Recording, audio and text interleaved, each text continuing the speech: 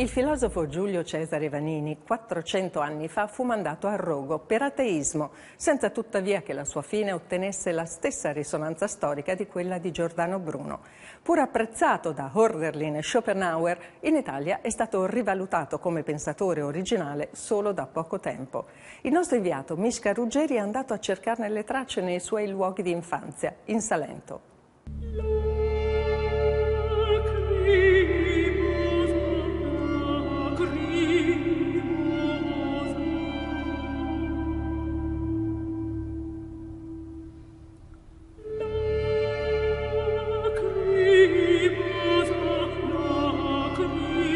Sua opera principale, il De Admirandis, è stata subito inserita nell'indice dei libri proibiti. Lui, 400 anni fa, a Tolosa, è stato processato e condannato a rogo per ateismo, bestemmia, impietà e altri eccessi. Poi la damnatio memoria lo ha colpito implacabile. A soli 34 anni, al carceriere che lo prelevava per condurlo al patibolo, disse: Andiamo allegramente a morire da filosofo. Vanini è morto come Socrate, come Seneca, come Giordano Bruno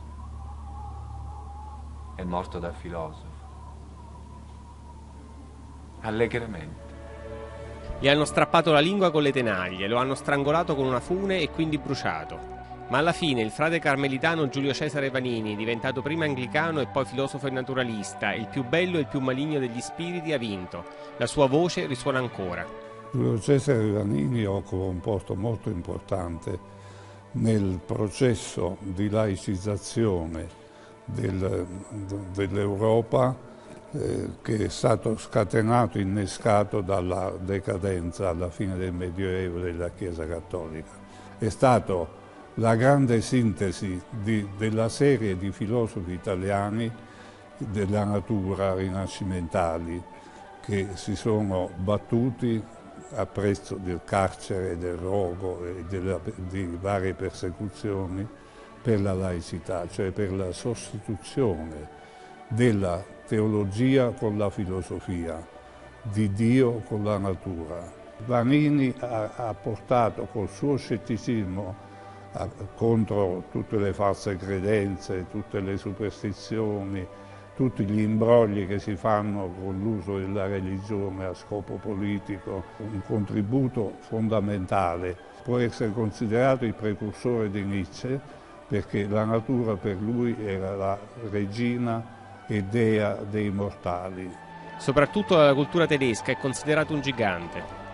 Schopenhauer l'ha molto esaltato, ha detto che è stato bruciato ma non confutato, era più facile bruciarlo che confutarlo e addirittura Hölderlin, poiché lo, lo, lo ha visto come un eroe del libero pensiero, ha scritto una bellissima lirica per lui. In Italia ha pagato a lungo le accuse di plagio e l'ostilità di Croce e Gentile, che lo consideravano un ateista interessante soltanto per gli eruditi. Vanini è stato ignorato o stroncato dalla cultura ufficiale del Novecento e ciò per un'accusa, per un'accusa di plagio appunto formulata dal suo conterraneo Luigi Corvaglia da Melissano.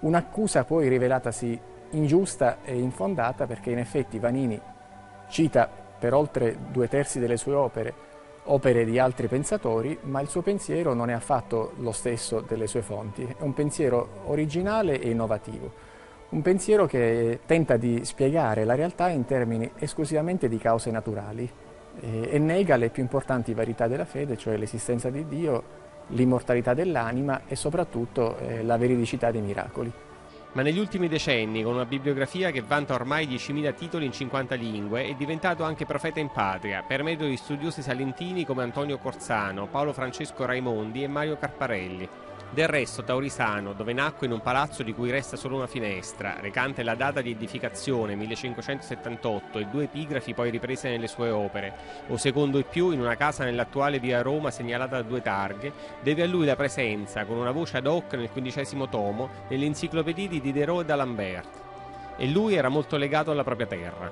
Già l'espressione che si trova nel De Admirandis è estremamente significativa, patria mia nobilissima, quasi gemma nell'anello del mondo. E, e non è l'unica espressione che si riferisce al Salento, ci sono molte cose che lo legano al Salento.